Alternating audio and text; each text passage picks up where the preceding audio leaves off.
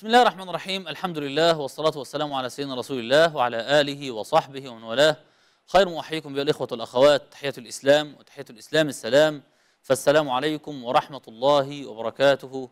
وبعد فمع برنامجنا الفقه الميسر ونتحدث اليوم عن الوضوء وعن فرائضه وسننه ومستحباته ومكروهاته وما يجب له الوضوء إجمالا عن أحكام الوضوء بوجه عام ملخص موجز الوضوء يعني أتى من كلمة الوضاءة وضاءة يعني الشيء الوضيء المنير اللامع.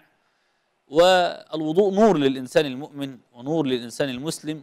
يجدد به إيمانه ويجدد به عبادته ويجدد به نظافة جسده ونظافة الروح. الوضوء له آثار على الإنسان من حيث آه، الأثر الإيماني ومن حيث الأثر الجسدي أو الجسماني ومن حيث الأثر النفسي. الأثر الإيماني أنه يعني الوضوء على الوضوء دائما يجعل الإنسان في طمأنينة وراحة لأنه في عبادة.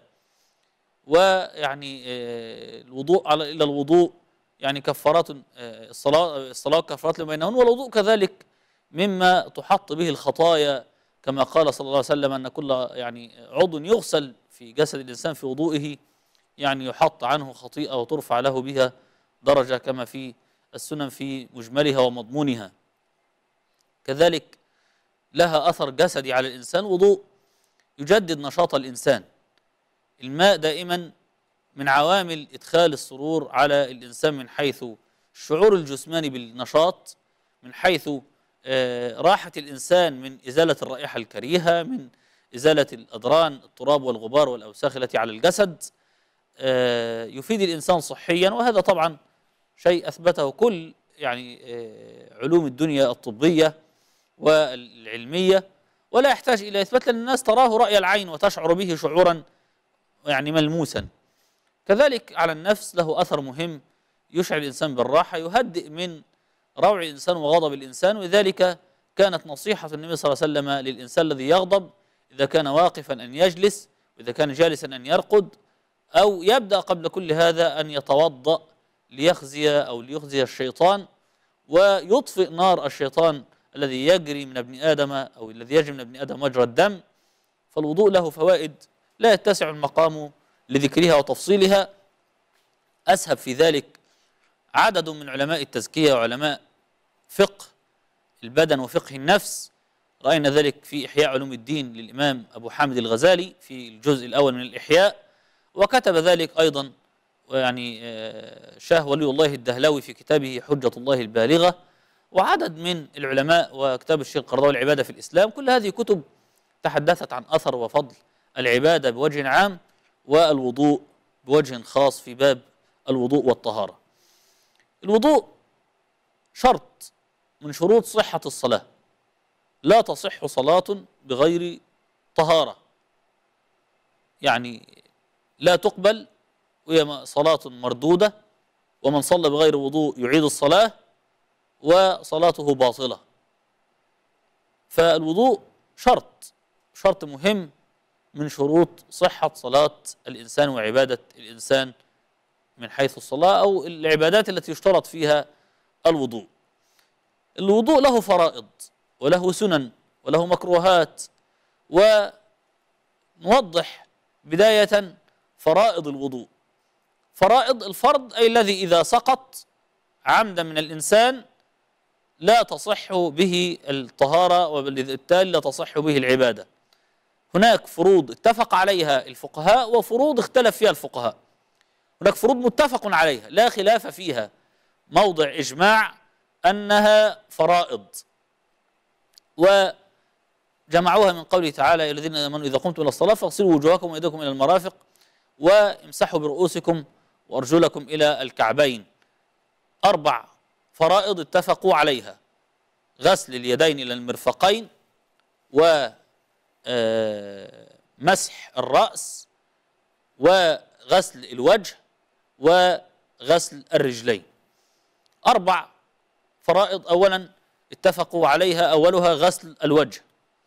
الوجه ولا نريد أن ندخل في تطويل في كلام الفقهاء في تحديد الوجه اللي من منبت الشعر إلى أسفل الذقن ومن شحمة الأذنين الأذنين الوجه هو الوجه المعروف الذي يعرفه الإنسان أن هذا هو الوجه ويغسله.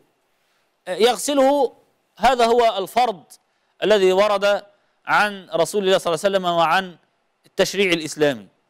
بسلاسة وبساطة دون دخول في تفصيلات آه، التفصيل فيها لا يفيد كثيرا. المهم أن يكون الإنسان قد آه، الماء احتوى واشتمل على عضو الوجه. العضو الذي يليه الفرض الذي يليه غسل اليدين إلى المرفقين. من اليد إلى المرفق هذا أيضا فرض بدونه لا يتصح الطهارة أو الوضوء. وكذلك مسح الرأس. مسح الرأس فرض على جميع المذاهب والآراء. لكن آه، طبعا في الوجه واليدين للمرفقين لم يختلف الفقهاء كثيرا في هذا في تحديده. إنما الرأس اختلف العلماء في كم يمسح من الرأس. هذا فرض عند الجميع لكن ماذا يمسح؟ اختلف الفقهاء لأن الآية قالت برؤوسكم. والباء في اللغة يختلف مدلولها من رأي إلى رأي. فمن الفقهاء من قال الباء هنا زائدة. فتقدير الآية وامسحوا رؤوسكم. طيب يبقى الفرض مسح الرأس كله كل الرأس. ورأي آخر قال لا الباء للإلصاق. يعني الإنسان حين يلصق يده لما تلصق يدك على الرأس كم تأخذ؟ أربع كفوف من اليد. إذا يكون الفرض هنا مسح ربع الرأس. من الفقهاء من قال لا الباء هنا للتبعيض يعني بعض رؤوسكم. والبعض يعني يكفي ثلاث شعرات أو قليل من الشعر في هذه الحالة. إذا مسح بما تأتي عليه اليد لا مانع. فالفقهاء طب قالوا طب الإنسان الأصلع ماذا يمسح؟ الأصلع يضع يده, على رأسه. يضع اليد على الرأس ويمسح. أيضا دلل على أن الرأس هنا مقصود بها المسح في حد ذاته. من أخذ بأي رأي من هذه الآراء فوضوءه صحيح. المهم أنه مسح رأسه قليلا كان أم كثيرا فالوضوء صحيح في هذه الحالة. آخر فرض مما اتفق عليه الفقهاء غسل الرجلين إلى الكعبين. الناس بتظن الكعب اللي لاعب الكرة لما يضرب الكرة يقول لك ده جاب جون بالكعب. لا هذا ليس الكعب في في الفقه الكعب ما هو يعني أعلى بقليل عند موضع آه، العظمتين البارزتين. ده الكعب. إنما الآخر ده اسمه أسفل القدم. إذا الغسل إلى هذا الموضع غسل غسل الرجلين. طبعا آه، بعض المذاهب غير السنية مثل المذهب الإمامي والشيعة يرى مسح الرجلين. وده هنناقش فيه المسح على الخفين أو المسح على الجوربين أن أهل السنة يقولون بالمسح على الجوربين والخفين آه، الشيعة من الإمامية وبعض المذاهب الأخرى لا ترى المسح على الخفين بل ترى المسح على الرجلين وليس غسل الرجلين. آه ليس يعني مجال للحديث عنه لكن من باب توضيح آراء ربما حين إذا يعني البلاد التي فيها مسلمون وفيها سنة وفيها شيعة يعرف من أين أخذ هذا الشيعي رأيه. رأيه لأنه يرى أني وامسحوا آه، وأرجلكم يعني يراها آه، بالكسر وأرجلكم. فتكون معطوفة على يعني برؤوسكم أي مسح. وامسحوا برؤوسكم وأرجلكم إلى الكعبين القراءة الأخرى وقراءة معترف بها وصحيحة فهو رأي. وفي النهاية يعني رأي له اعتماده ورأي سواء أننا لا نتفق عليه. وقد اتفقت الأمة وأجمعت الأمة جميعا على غسل الرجلين وليس المسح. ولكن لنعرف إذا رأينا أحدا من الشيعة وغيره في بلادنا العربية والإسلامية نعرف أن هذا هو مذهبه. دي الفرائض التي اتفق عليها الفقهاء. هناك فرائض اختلف فيها الفقهاء. مثل النية. النية وإن وردت في آيات أخرى لكن الأحناف يروا أن النية ليست فريضة. بقية الجمهور يرون أن النية فريضة. لأنه النبي صلى الله عليه وسلم يقول إنما الأعمال بالنيات. ويقول تعالى وما أمروا إلا ليعبدوا الله مخلصين له الدين ويقول ألا لله الدين الخالص وأن العبادة لا تصح إلا بشرطين النية وموافقة العمل لما شرعه الله عز وجل. هذان شرطان مهمان. لكن الأحناف يروا أن الفرض ما ورد هنا في الآية. الآية تكلمت عن أربعة فروض غسل الوجه وغسل اليدين ومسح الرأس وغسل الرجلين. أربعة فروض تحدثت عنها الآية. لأن الأحناف طبعا لهم تعريف يعني يختلف أنا لا أريد أن أسف في ذلك لكن ليعلم الناس أن هذا يرجع إلى أصول المذاهب. المذاهب ترى الفرض هناك من المذاهب من يرى الفرض ما ثبت في الكتاب أو السنة. آه، كان الحديث متواتر أو أحاد لكن الأحناف يشترطون في الفرض أن يكون بآية أو بحديث متواتر. في المجمل لكن طبعا المذاهب ليست تسير على خط واحد أحيانا تخالف الرأي أو يعني آه، آه، تأخذ برأي آخر على غير رأيها. فالنية فرض عند جمهور العلماء وليست فرضا عند الأحناف. هذا مما اختلف فيه. كذلك من الفروض المختلفة المختلف فيها الترتيب. هل ترتيب الأعضاء الذي نراه في الوضوء سواء في السنن والفرائض هل هذا الترتيب فرض أم لا؟ من الفقهاء من يراه فرضا لأن الآيات تكلمت عن ترتيب. اغسلوا وجوهكم والأيدي إلى المرافق ومسح الرأس ثم الرجل ختم به. والواو هنا معناها هذا وأن ترتيب وأن النبي صلى الله عليه وسلم ما توضأ إلا بهذا الترتيب. الذي ثبت عن رسول الله صلى الله عليه وسلم أنه توضأ بهذا الترتيب الذي نتوضأ به. فدل على أن الترتيب عند بعض الفقهاء فريضة. ولكن الراجح أن الترتيب ليس فريضة. لماذا؟ لأن الآية عددت الأعضاء التي تغسل بحرف الواو. والواو لا تدل على الترتيب بل تدل على الجمع العطف. كمثلا إذا قلت لابنك اذهب يا بني اشتري لي من السوق بيضا وخبزا وطماطم وخيار وجرجير وكوسة. و و و كل هذه الالوان هل أنت تقصد بذلك؟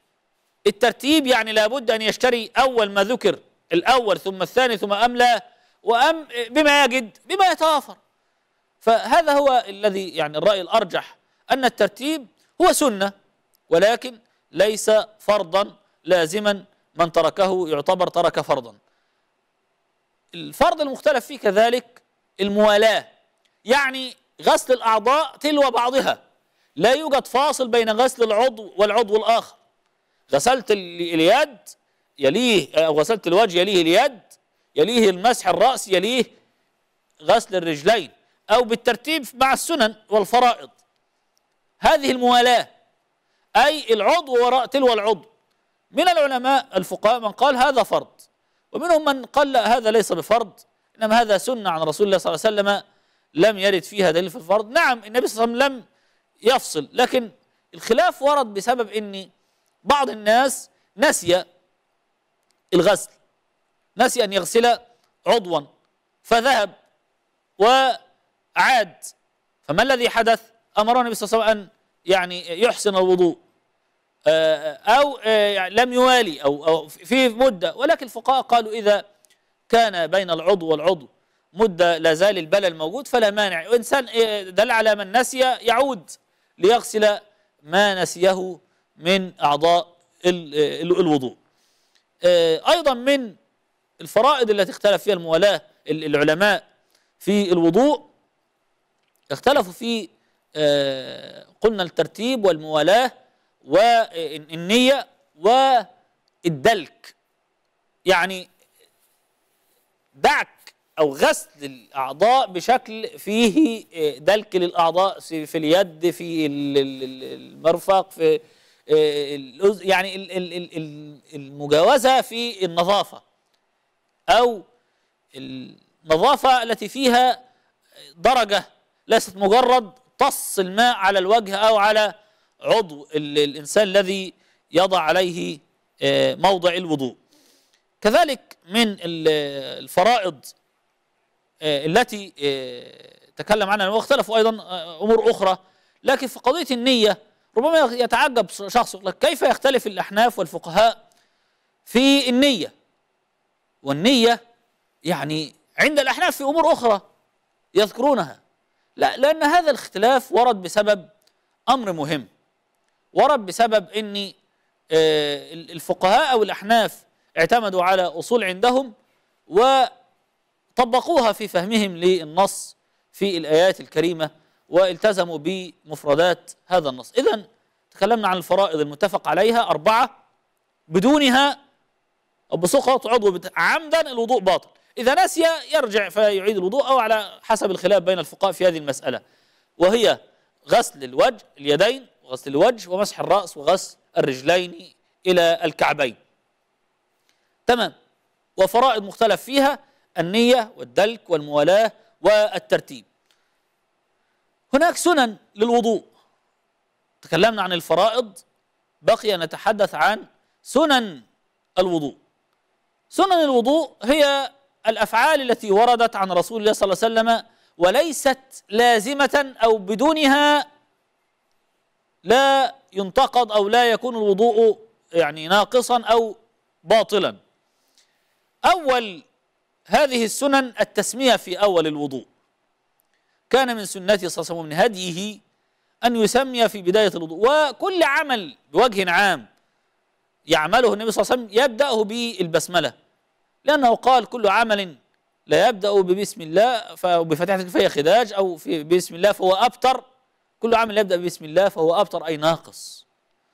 وكان من هديه دائما التسمية سواء في الأكل سواء في الشرب سواء في البداية أي شيء حتى دخول الخلاء بسم الله اللهم إني أعوذ بك الخبث والخبائث. آه يعني قبل الدخول طبعا الدعاء. آه آسف اللهم يعني الدعاء قبل الدخول يعني فيه التسمية حتى الذبح بسم الله والله أكبر. اذا بسم الله حتى في خطاباته فيها التسمية. فمن سنة النبي صلى الله عليه وسلم ومن هديه أنه كان دائما يستخدم التسمية في آه حياته وفي كل معاملته فالتسمية في أول الوضوء سنة عن رسول الله صلى الله عليه وسلم. السواك سنة سواء آه، عند الوضوء وعند غير الوضوء. عند الوضوء سنة. يسن الإنسان السواك كما قال صلى الله عليه وسلم لولا أن أشق على أمتي لأمرتهم بالسواك عند الوضوء وعند الصلاة. رواية أخرى غير آه، لأمرتهم بالسواك عند كل صلاة. طيب السواك العلماء وضعوا له حالات مسنونة منها الوضوء. وحالات أخرى لأن إحنا أجلنا الحديث عن السواك في سنن الفطرة للوضوء. السواك سنة عن رسول الله صلى الله عليه وسلم في حالات متعددة. عند الوضوء وعند الصلاة قبل الصلاة عند كل صلاة كما في الحديث لولا أن أشق على أمتي لمرتم بالسواك عند كل صلاة وعند قراءة القرآن حتى يكون يعني فم الإنسان طيبا معطرا. وعند الاستيقاظ من النوم وعند تغير رائحة الفم. هذه حالات سنة عن رسول الله صلى الله عليه وسلم استخدام السواك فيها. عند الوضوء عند قراءة القرآن عند آه، الصلاة عند النوم بعد الطعام عند تغير رائحة الفم.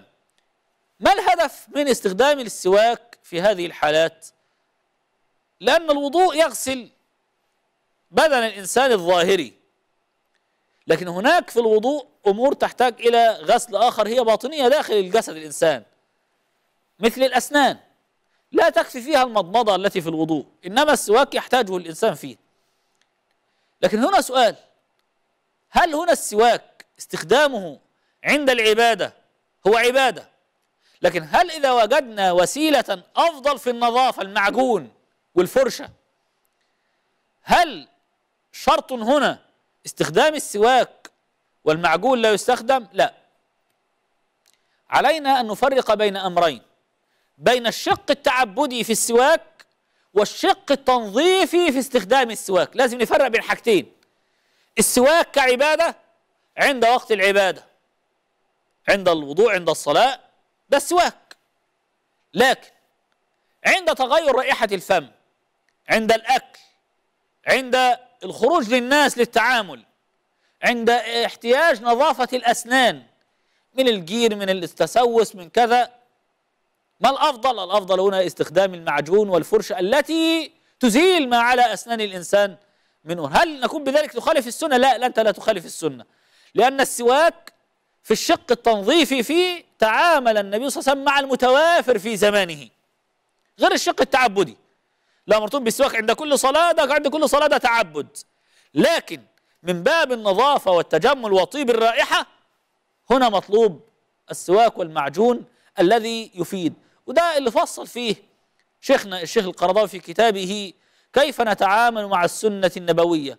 ووضع عنوانا مهما التفريق بين الوسيلة بين الهدف الثابت والوسيلة المتغيرة. الهدف الثابت النظافة. الوسيلة المتغيرة هي الوسيلة التي ننظف بها. قد يكون سواك قد يكون فرشة ومعجون. فهنا المعجون يغني وتكون تنفيذا للسنة. ما عدا كما ذكرنا عند الصلاة. أيضا من سنن الوضوء تخليل اللحية.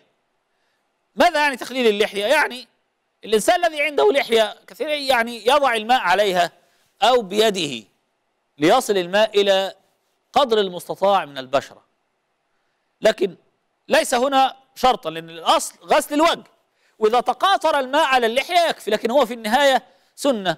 والفقهاء يرووا يعني طرفة في ذلك الأمر. أن أحد الناس ذهب إلى الشعبي من أئمة الفقه المعروفين وسأله أنا لحيتي كثة ماذا أفعل؟ الماء لا يصل إلى باطن البشرة. يعني يتكلف.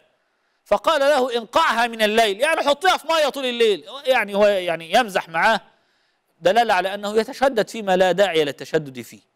فتخليل اللحية سنة عن رسول الله صلى الله عليه وسلم في الوضوء.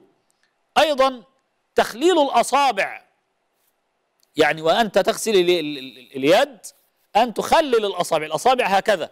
ليه؟ لأن بين الأصابع يكون هناك تراب اوساخ عرق فهذا أيضا من السنة عن رسول الله صلى الله عليه وسلم ومن سنن الفطرة كما ذكرنا غسل البراجم.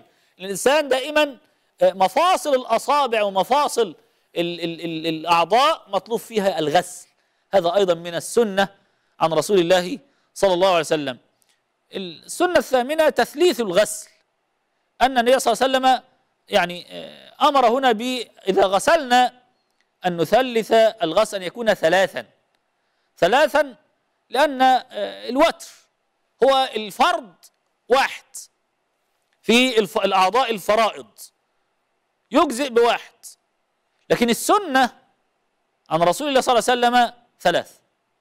لأن الواحدة تكون إزالة معنى الثانية يكون زيادة الثالثة تكون يعني نهاية التنظيف في هذه المسألة. فالسنة أيضا من سنن الوضوء غسل الأعضاء التي في الوضوء سواء السنن أو الفرائض ثلاثا سنة عن رسول الله صلى الله عليه وسلم. أيضا السنة التاسعة التيامن. تيامن أي أبدأ باليمين دائما. وهذه سنة عن رسول الله صلى الله عليه وسلم في كل الأعمال بوجه عام سواء في الأكل يا غلام سم الله وكل بيمينك وكل مما يليك.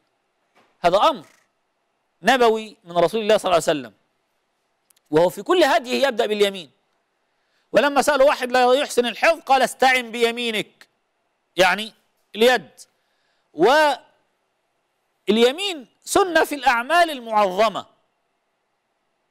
لكن الشمال تستخدم في غير المعظم. نحن في اليمين نصافح باليمين. نأكل باليمين. استلام الحجر الأسود باليمين. معظم الأعمال نبدأ باليمين. نلبس باليمين. لكن عند دخول دورة المياه أدخل برجل اليسرى. عند الاستنجاء أستخدم يدي اليسرى. عند التمخض وكذا اليسرى. كل ما هو فيه في شيء ليس من التعظيم اليسرى. اليمنى للشيء المعظم فمن السنة في الوضوء أن نبدأ بميامننا سنة عن رسول الله صلى الله عليه وسلم. آه، أيضا من السنن التي في سنن الوضوء الدلك أي آه، دعك الأعضاء جيدا وذكرناها في اختلاف الفرائض المختلف فيها والموالاة أي تتابع الأعضاء وأيضا سنة الراجح وذكرناها في الفرائض المختلف فيها. مسح الأذنين.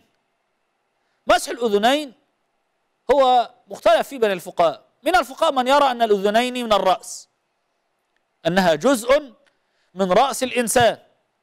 ومن الفقهاء من يرى أن الأذنين ليستا من الرأس. استدل من رأى فرض بحديث الأذنين من الرأس وهو ضعيف والراجح أن مسح الأذنين أو غسل الأذنين سنة وليس فرضا ويغسل ثلاثا سنة عن رسول الله صلى الله عليه وسلم. هناك سنن أخرى يعني لا يتسع المقام لذكرها يعني نرجئ الحديث عنها إلى الحلقة المقبلة إن شاء الله مع بقية السنن والمكروهات وما يجب له الوضوء ليكون بقية الموضوع متكاملة مع بعضها بعضا. نسأل الله سبحانه وتعالى أن يتقبل منا وإياكم وأن يفقهنا لكم في ديننا وأن يرزقنا وإياكم الإخلاص في القول والعمل. أقول قولي هذا والسلام عليكم ورحمة الله وبركاته.